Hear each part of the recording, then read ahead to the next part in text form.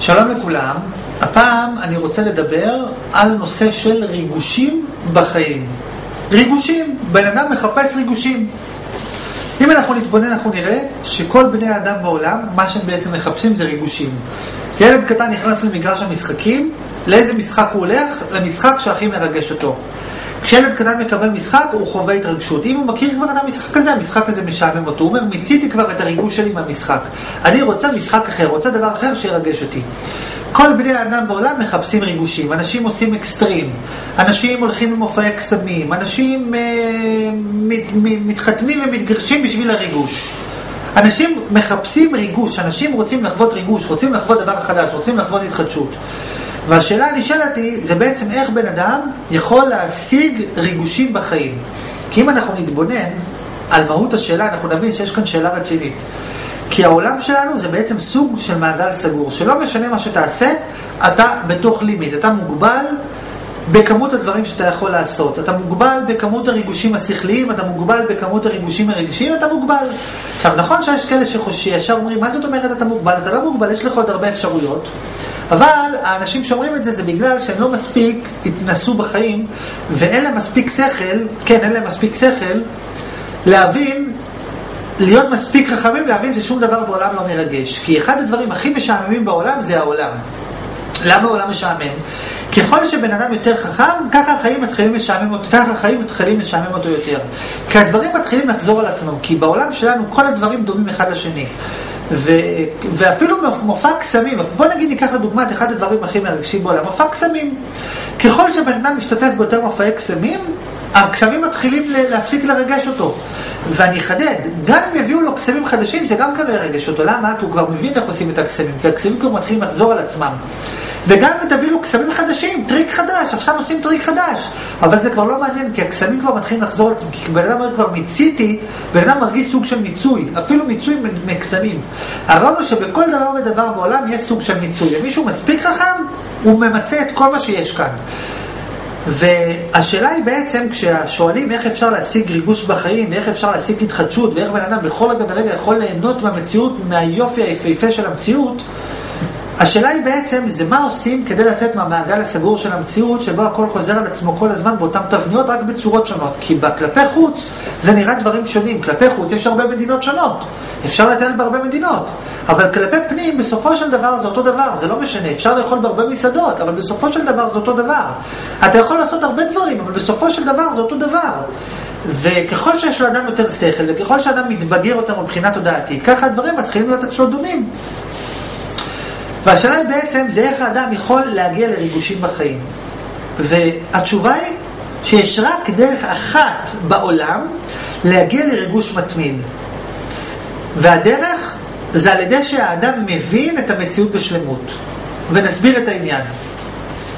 הדבר הכי מרגש בעולם זה הבנת המציאות. להבין את המציאות זה הדבר הכי מרגש בעולם. ולמה זה הדבר הכי מרגש בעולם?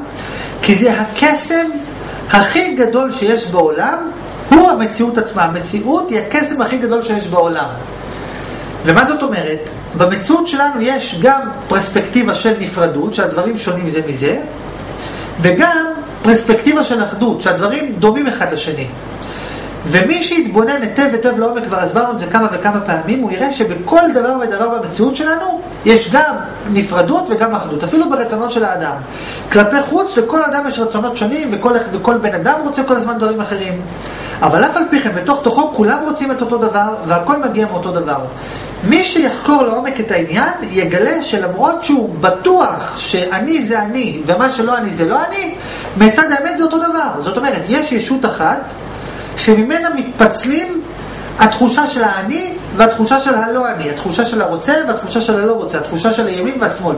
אפילו ימין ושמאל מצד האמת הם אחד, אפילו לפני ואחרי מצד האמת הם אחד. מצד האמת, כל האירועים בעולם מתרחשים באותו רגע, באותו מקום, ובו זמנית הם מתרחשים במקומות שונים בזמנים שונים, בו זמנית. הדבר הכי יפה בעולם זה השכל של המציאות. הדבר הכי יפה בעולם, הקסם הכי יפה בעולם זה השכל של המציאות. והמזל של האדם, המזל שלו זה שהוא לא מבין את המציאות. כי אם האדם היה מבין את המציאות, הקסם היה משעמם אותו.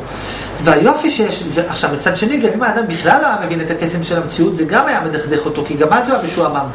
הרעיון הוא שבכל אדם יש שני כוחות. יש בו כוח אחד שיכול להבין את הקסם של המציאות, וכוח שני שלא מסוגל להבין את הקסם של המציאות בשלמות. וזה, וזה, וזה בו זמנית. זה, אתה מבין ולא מבין בו זמנית.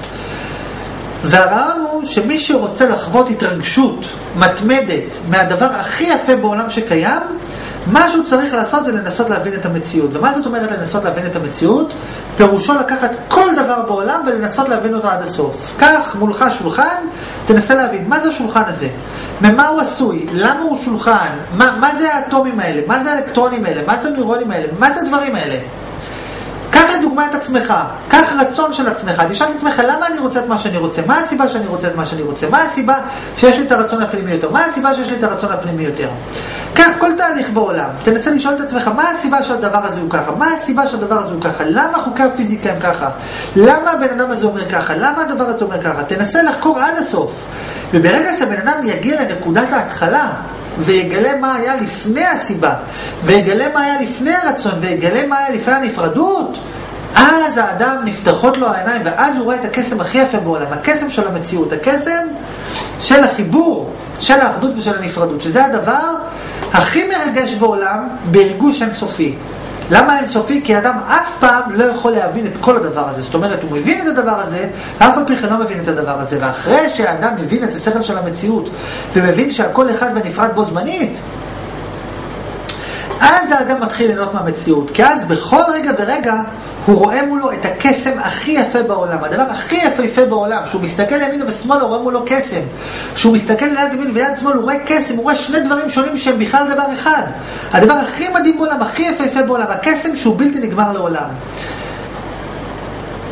ונח... ונסכם ונאמר, הדרך של האדם, מי שרוצה ריגוש מתמיד, שלעולם לא נגמר, שלעולם לא ממצא את עצמו, שבכל רגע ורגע הוא רק נראה יותר ויותר יפה, כי אדם מבין אותו יותר, חווה אותו יותר, רואה עוד היבטים שלו, רואה אותו בכל מיני התלבשויות, בכל מיני התגלמויות בעולם, קולט אותו מכל מיני פרספקטיבות, מי שרוצה לחוות כזה דבר צריך לנסות להבין את המציאות בשלמות.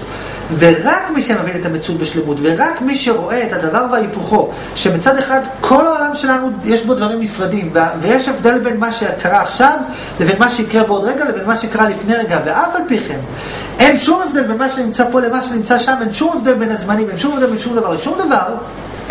הוא חווה את ההתחדשות המתמדת של התהוות העולם בכל רגע ורגע מחדש, וממילא בכל רגע ורגע מחדש הוא חווה את עצמו כבריאה חדשה וכישות חדשה וריגוש חדש. ו... וכמובן שזה עניין של מסע. ובן אדם צריך לעשות אותו, כי, בס... כי שווה לעשות אותו. כי, ואמרנו, המסע זה פשוט המחקר, פשוט לחקור. מה הסיבה שהדבר הוא כך ולא אחרת? למה אני רוצה את הרצון שלי? מה הסיבה שהשמש זורחת בבוקר? ומה הסיבה שכדור הארץ מסתובב במהירות כזו ולא כזו? מה הסיבה? עד שבן אדם יגלה איך, את, איך הכל התחיל, איך הכל מתחבר, ואז אדם במו עיניו יראה את הנפרדות והאחדות מתחברות, ואז הוא יקבל את הריגוש של החיים שעליו כל בני אדם מפנטזים כל הזמן. וזה מסע ושווה לעשות אותו, כי בסוף מחכה הריגוש האמיתי, ריגוש בלתי נגמר לעולם. ושיהיה לכולם המשך יום של ריגושים טובים ויפהפיים עד אין סוף. תודה.